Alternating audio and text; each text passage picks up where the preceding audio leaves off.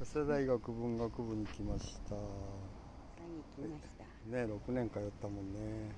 すごいねあれ教授棟だ向こうのね。上の方からね学生が机を落とそうとしてやったんだよね。怖かったねあれね。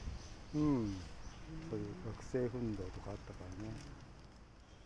向こう向こうはですねプールがあるのね、ここね文学部のスロープ。さ大きいよ。坂をさ、ここで夕方待ってるとね吉永小百合さんが第二文学部に私が1年生の時8年生だったからね彼女はね、来るっていうの待ってた。うんずっとほら学校いろいろ仕事しながら俺も6年通ったけど、よく頑張ったね。結構大変だねそうだよねよく来たよね。ありがたいね。また会いましょう。頑張りましょう。長生きしましょう、見て見て見てだ